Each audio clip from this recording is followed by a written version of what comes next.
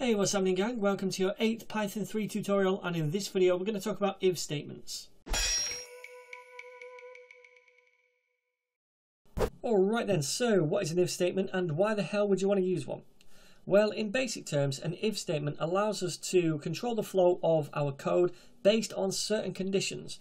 For example, if that condition is true, then I want to perform this bit of code. If it's not, then I don't. So it follows this cause and effect model and this happens in real life as well. If I'm tired, I go take a nap. If you defecate in public, you get arrested. So we're taking this cause and effect model and we're pushing it right into Python and we're saying, okay, at some point during this program, I want to check a certain condition. For example, is the age variable equal to a number that is 10? If it is, then I want you to execute this portion of code. If it's not, then I don't want you to execute that portion of code and we'll do something else instead. So it's putting a fork in the road, if you like, and branching off into two different directions based on certain conditions. So that's what if statements are all about. And we're going to do a couple of examples now. So the first thing I want to do is get the user involved. I want to ask the user for their age and store it in a variable. So we'll say age is equal to input to ask the user something. And we're going to ask them to enter your age. All right. Now remember, when we enter data over here in the console, it's stored in this variable as a string by default. Now, we might want to use it as an integer, and that makes sense because age is a number. So to do that, we need to perform a bit of typecasting. And we know how to do that. We know how to turn something into an integer. We just use the int method. So we say int, and then open our brackets and close our brackets after this thing. So anything within the brackets, i.e. the result of this input right here, is going to be turned into an integer. Then it's stored in this age variable. Cool. So now we have our age. Let's do some checking. If age is equal to something or greater than something. So the way we do an if statement is by saying if. Then we place our condition or our expression right here. What do we want to evaluate? Well, we want to check if the age is less than 10. So this is going to return either true or false right here.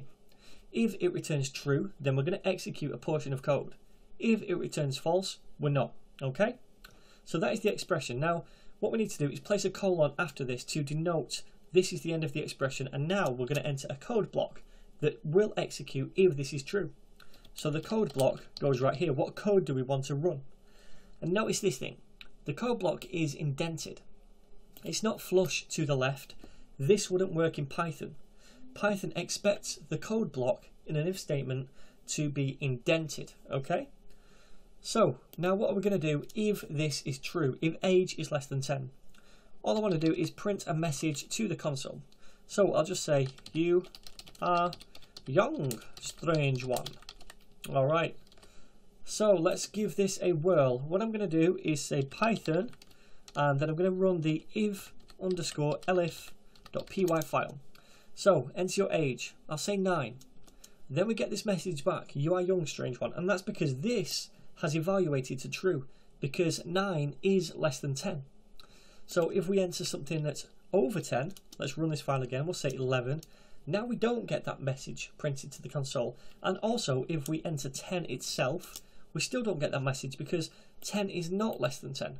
Make sense? Cool. So that's a basic if statement. Now there's more to it. We can add on something called elif. Right? So what does this do?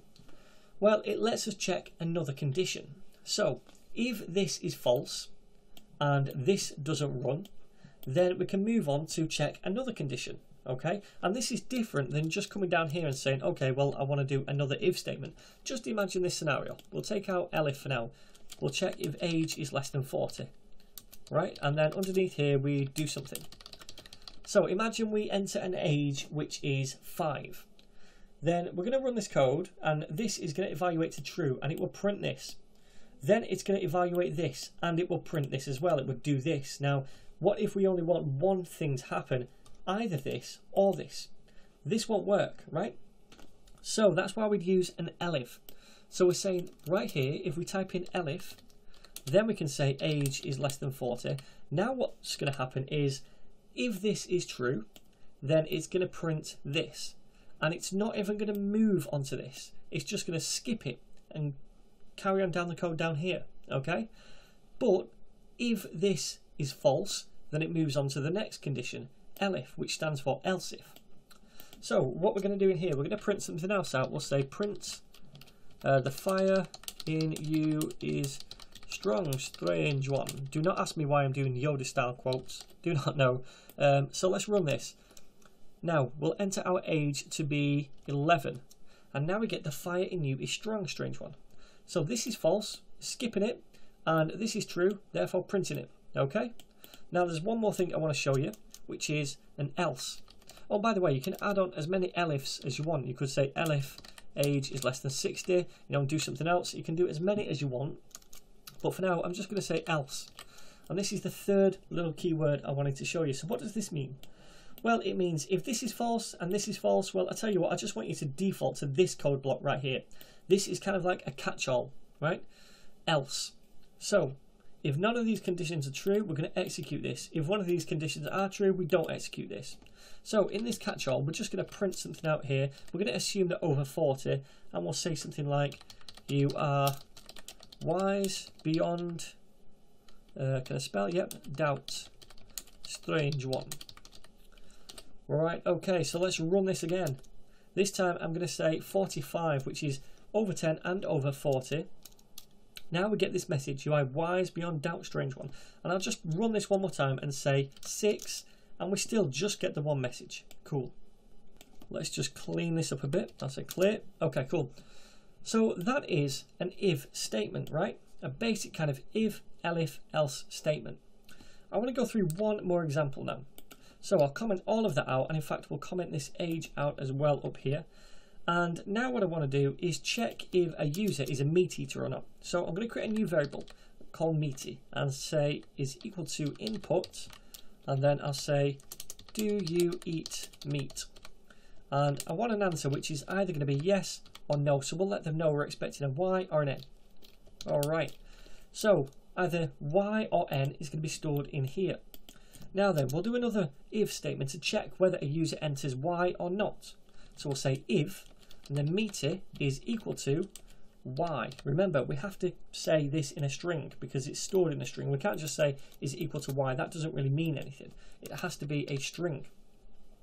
So we're checking if meaty is equal to Y, and this equal to is a comparison operator. So before we had greater than, but that doesn't make sense, or rather less than, but that doesn't make sense in this example. We're checking if what they've entered is equal to y, and it's two equal signs to do that. It's not just one equal sign, because this is um, an assignment operator. We'd say something like um, age equals 5, right? That's an assignment when we use one equal sign. To check if something's the same, we used double equal signs.